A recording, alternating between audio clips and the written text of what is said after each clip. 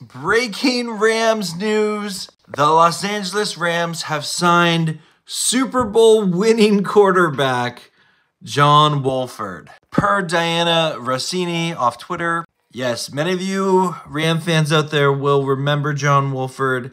He's appeared in seven games for the Rams. He has started four, and one of those four was last year against the Raiders, which he was promptly benched in that game for Baker Mayfield. But he is technically two and two as a starting quarterback. I'm just trying to spin this the best way I can possible.